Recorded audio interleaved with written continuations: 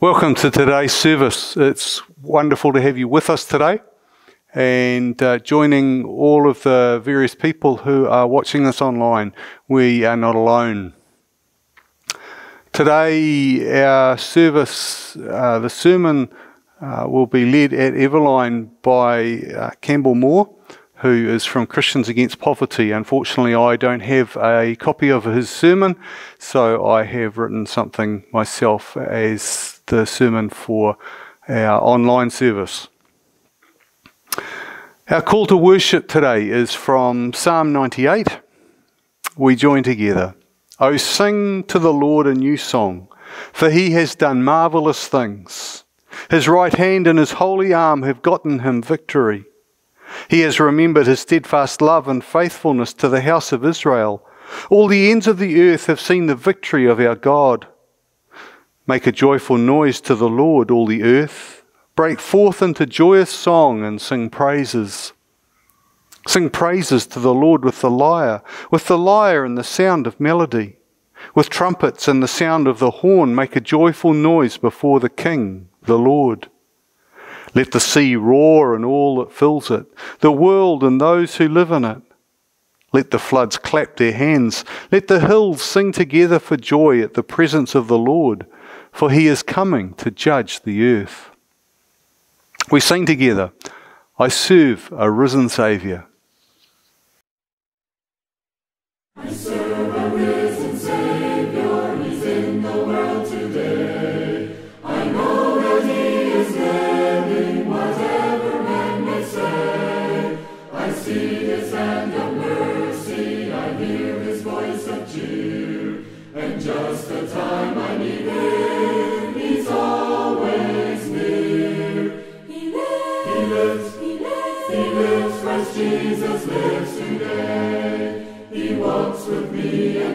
With me along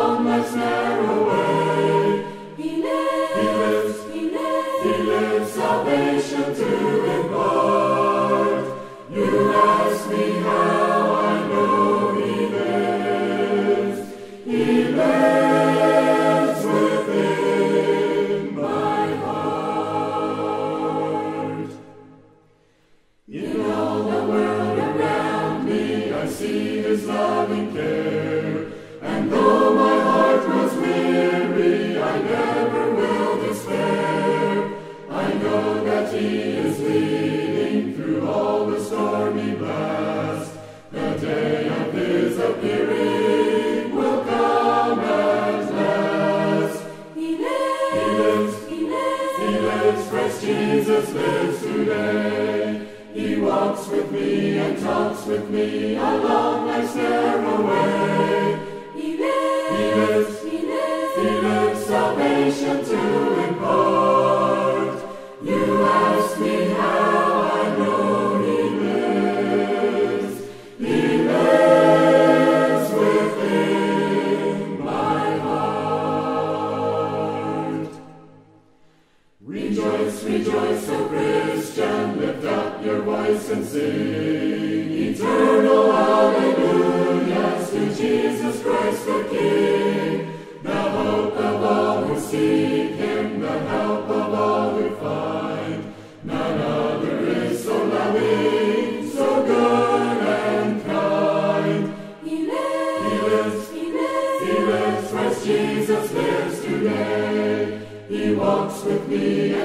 With me along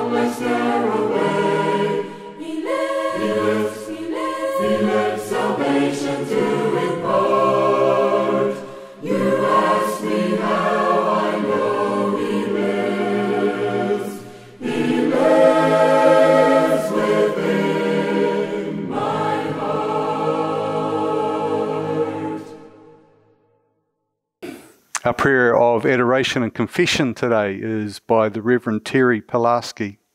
We pray. God of the wilderness, who meets us in unexpected ways, who journeys with us, our guide, our hope and salvation. We give thanks for all the blessings of this life. May we love one another as you love us. God, you illuminate the path before us. Jesus, beloved, leads us into your truth. May life with boldness, love. We offer prayers for the Church Universal and all people. May we love one another as you love us. God, you grow in and through all creation, gentle compassion, bringing forth new life from the broken places, pruned, made new. May we be the source of new fruit. May our lives birth hope, inspired by your Spirit. May we love one another as you love us. God of mercy and peace, enfold us in your grace. Release us from our limitations, greed, bigotry, injustice. Prune the vines that bind us. We ask for wisdom and courage, your perfect love to cast out sin. May we love one another as you love us. God, heal us from despair through your gaping wounds. Open us, enable us to have the courage to love. Scarred as we are by the trials of life, we ask for your grace to heal us in mind, body, and spirit. May we abide in you as you abide in us. Amen.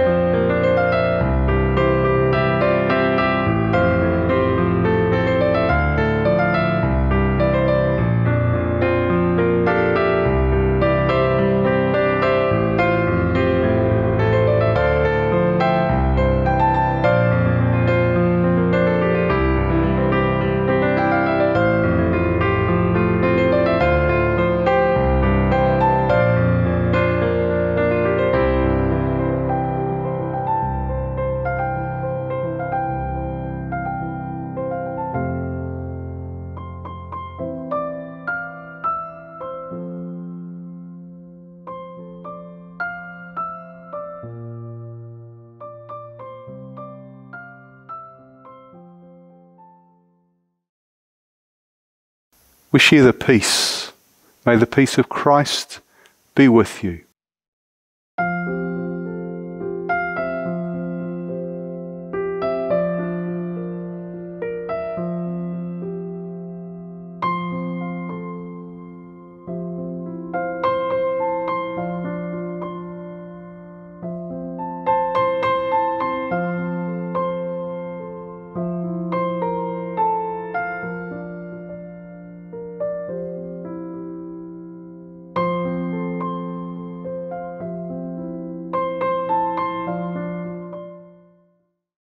And now we sing together Open the eyes of my heart, and Jesus, we enthrone you.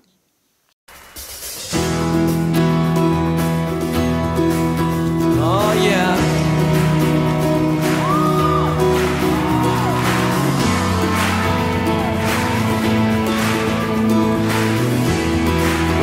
things for the way they really are. Open our eyes.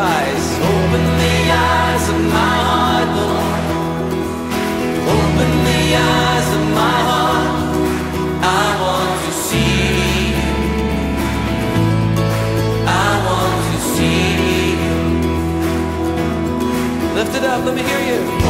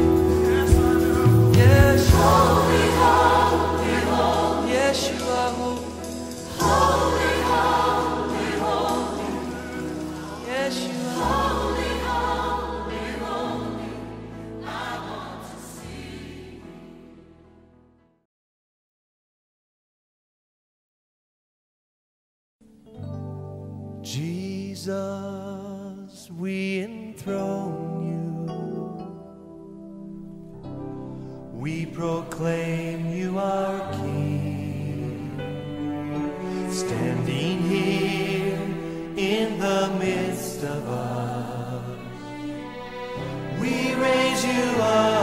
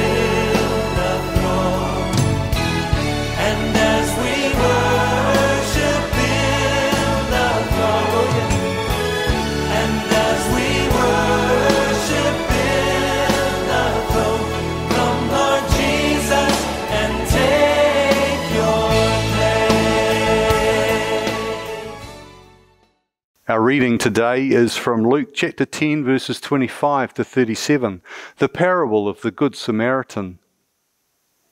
Just then, a lawyer stood up to test Jesus. Teacher, he said, what must I do to inherit eternal life?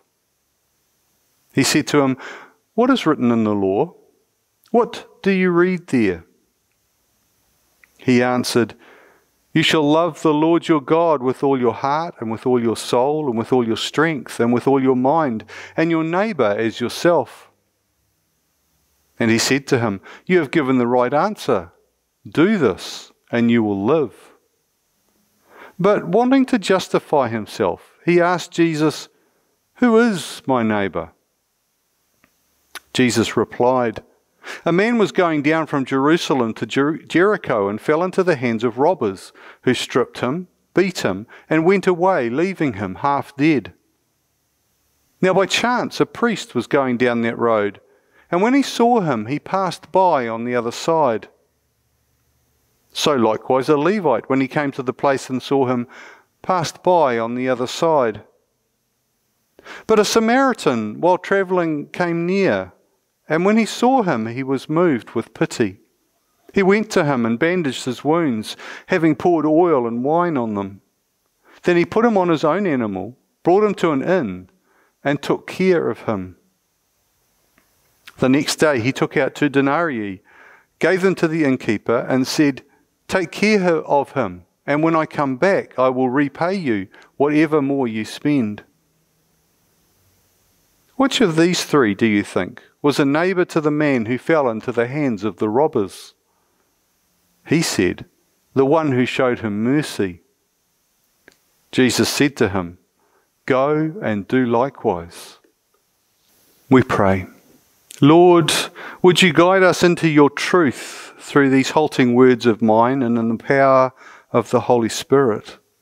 May our hearts be fertile soil for the seeds of the Spirit to take root and bear good fruit. Amen. Yes, but. Have you ever found yourself saying, yes, but? It's nearly always a precursor to something along the lines of, I'm right and you're wrong. Yes, but you haven't thought of this. Yes, but my solution is better than yours. Yes, but it can't possibly work that way. The other thing we can reliably get from the words yes, but is that in most cases you haven't actually heard what I said. Certainly you likely heard the words I said, but you haven't heard what I was attempting to convey.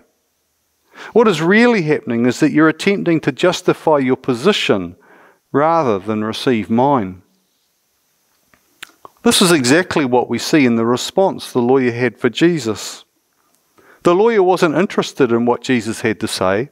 He was simply interested in finding fault with it in any way he could. Let's pause with that for a little and have a look at the context for the story. You could imagine that Jesus is in something like a lecture theatre, maybe even a little bit like a church. He's standing at the front following a lecture, and the floor is open to questions. It is a hostile audience, and they're looking to trip him up over what he has been saying. That means that every question is designed with a hook in it. Then a lawyer stands up to test Jesus. Immediately, we're on the lookout for what is about to happen. This is not some innocent question from a curious bystander. It comes with the knowledge that the intent in the question is devious. And that means we need to examine the question to see why it might be a problem. Teacher, he said, what must I do to inherit eternal life? On the surface, a perfectly reasonable question. But we know that a good lawyer will always know the answer to the question before they ask it. For the Jews, the answer was that you needed to follow the Torah with all its rules about behavior. The Torah itself wasn't the problem. The problem was a labyrinth that had been created over centuries to ensure people didn't break the rules of the Torah. The tiniest details were mapped out over what you could and couldn't do. It still happens today. An example lighting a fire is considered work, and since you're not allowed to work on the Sabbath, you can't light a fire on the Sabbath. Today, that extends to turning lights on and off. Why? Because the act of switching has the potential to create an electrical spark that is defined as fire. So, to avoid the possibility, you don't turn on lights on the Sabbath. Leaving aside the arguments over the sensibility of this, it is an example of how easily you could be caught out by missing small details. It is likely that this is what the lawyer was angling for catch Jesus in a small detail and he could go to town on him. Unfortunately for the lawyer, Jesus takes an entirely different route. Instead of dealing with the massive rules and expectations laid down over centuries, Jesus replies with a question What do you think? In an instant, the interrogation moves 180 degrees. It is no longer the lawyer attempting to catch Jesus out, it is Jesus examining the heart of the lawyer.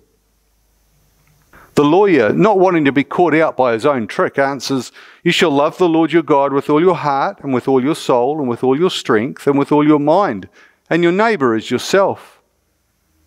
Immediately, we see that the lawyer had come up with his own answer, prepared as part of the trap. He knows that there is no way anyone could possibly fulfill all the details built up over centuries, and that there was really only one reasonable response. Then Jesus springs a trap of his own. He knows that the lawyer has this answer down pat.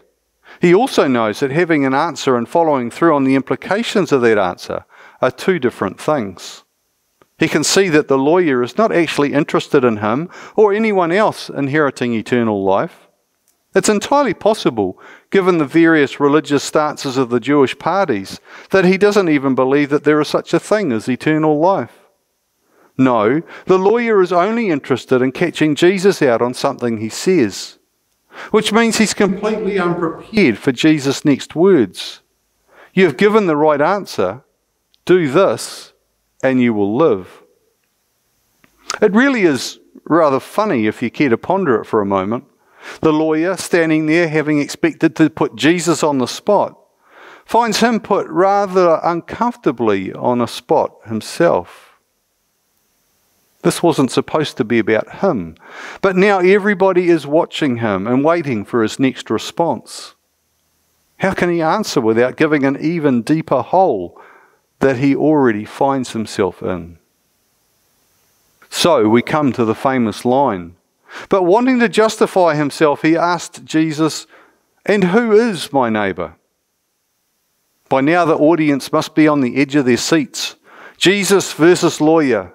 First, the question. Good question. Plenty of potential for upset. Score 1 0 to the lawyer. Then the reply question. Ah, getting interesting. Nice return. Score 1 all. The answer. Good answer. Right down the party line. Score 2 1 to the lawyer. Oh, massive reply. Going to be hard to return this one. Score 2 all. Weak response. Looks like he's rolled over here. Score 2 3. Game still on, but not looking good for the lawyer. Good story and response. Leaves the lawyer with little to work on. Score 2 4. Now the lawyer concedes the next point. The story has backed him into a corner. Score 2 5. And Jesus doesn't leave it there. Go and do likewise. Home run. That's a six. A slam dunk. Score. You're out of here. The problem the lawyer faced is that he brought legal arguments to a faith table, which is a little like bringing a knife to a gunfight or a cake mixer to a flower competition. Entering the kingdom of heaven isn't about whether you follow a list of rules and regulations, it is about faith. We're told in Romans 4 that Abraham trusted God to set him right instead of trying to be right on his own. Hebrews 11 reminds us that without faith it is impossible to please God. In Galatians 2, we read that we are not set right with God by rule keeping, but only through personal faith in Jesus Christ. The truth the lawyer had lost sight of was he had no way of justifying himself before God if all he brought were rules and regulations. He knew full well that it was impossible to follow all the rules. It's why he asked the question in the first place. His mistake came in missing the fact that not only could Jesus not follow all the rules and regulations, neither could he. And worse, even if he could follow them all without faith, it meant nothing. I want to leave us on this note. J- James reminds us that faith without works is dead.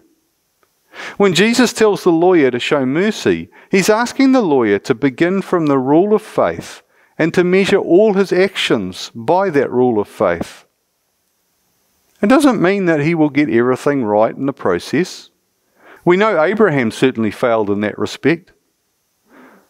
Yet, through acting in faith, even making mistakes in faith, God responded with love, grace, and mercy and justified him through that faith, just as God does for each of us.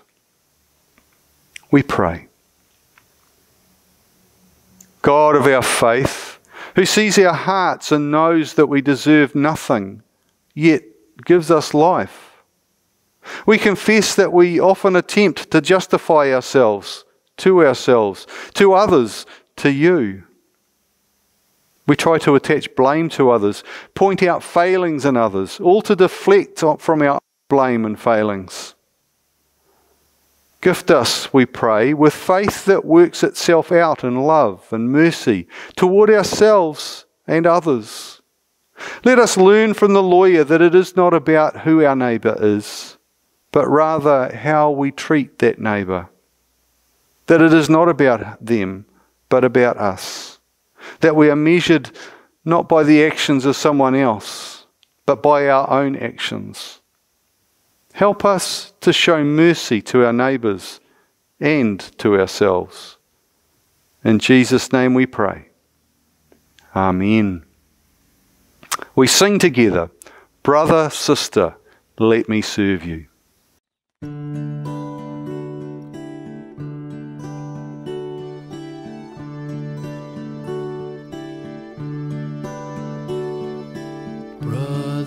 Sister, let me serve you. Let me be as Christ to you. Pray that I may have the grace to let you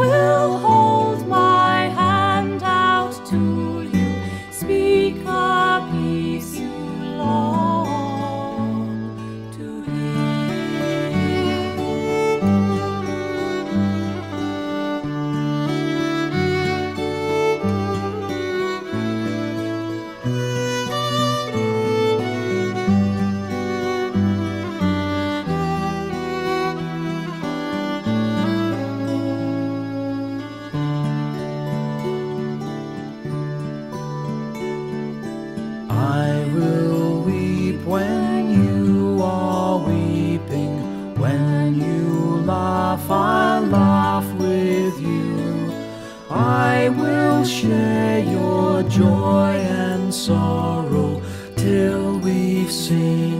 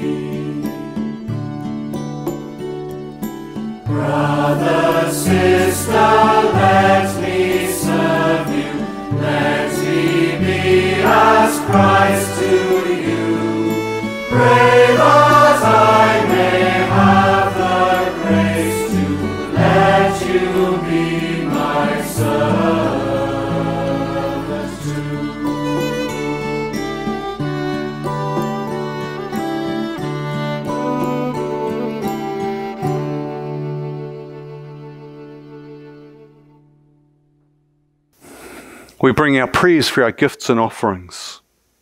We pray. God of unimaginable love, we've known of your caring since we were babies in our mother's arms. We've been told the stories of your love, and we've sung songs about your love. These things bring us comfort. What challenges us is the command of Jesus As I've loved you, so you should love one another. Not just those who think as we do, pray as we do, look the way that we do. Help us through our giving, our living, and our loving to live up to the challenge of loving as you would have us love. In the name of our risen Saviour, we pray. Amen. We bring our prayers for ourselves and others, and as we go, I will leave space for you to pray your own prayers. And at the end of each section, I will pray the words, Lord, in your mercy, and invite you to respond with, Hear our prayers. We pray. God, we bring our prayers this morning for the country of Argentina, suffering economic failure as the effects of the pandemic devastate the lives of the poor and even the middle class.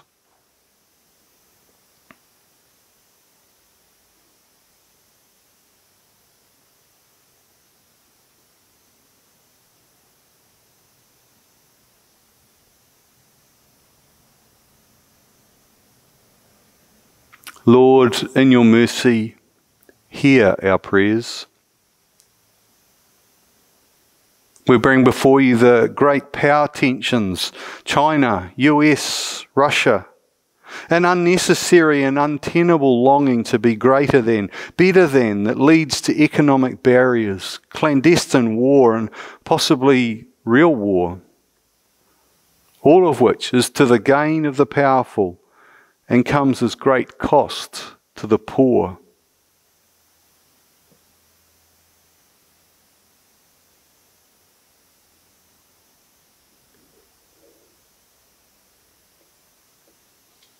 Lord, in your mercy, hear our prayers.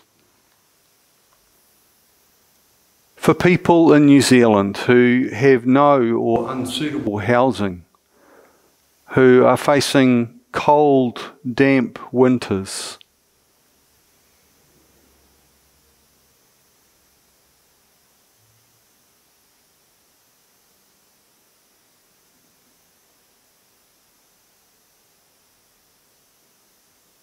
Lord, in your mercy, hear our prayers.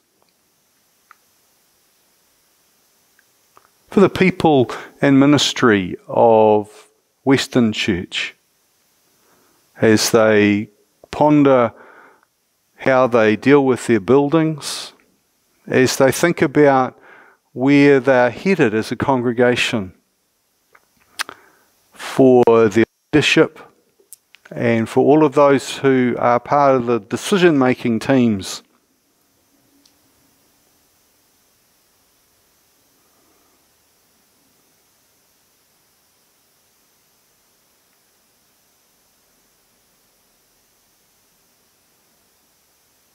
Lord, in your mercy, hear our prayers. For our own, particularly those suffering loss, those unwell, those separated from loved ones, for our pets.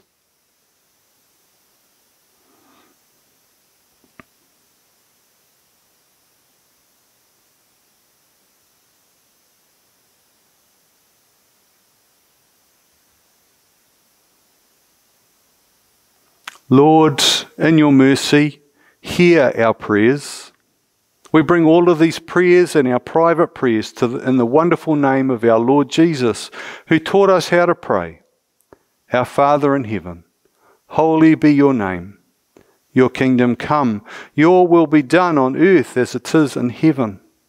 Give us today our daily bread. Forgive us our sins as we forgive those who sin against us. Save us from the time of trial and deliver us from evil. For the kingdom, the power, and the glory are yours, now and forever. Amen. We sing our closing hymn, Will you come and follow me?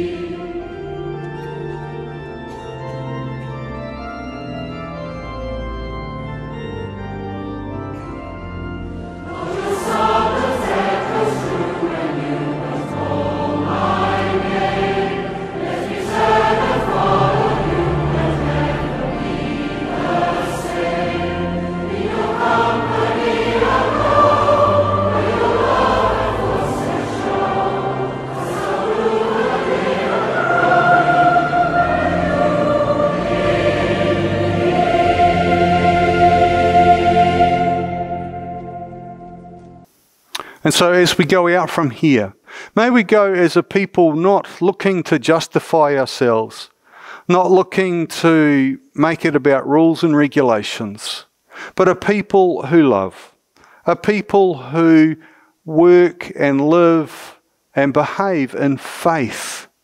Faith that is a gift of God, and a faith that justifies us without anything required of us. And may the grace of the Lord Jesus Christ, the love of God, and the fellowship of the Holy Spirit be with us all now and forevermore. Amen. Go in peace, people of God.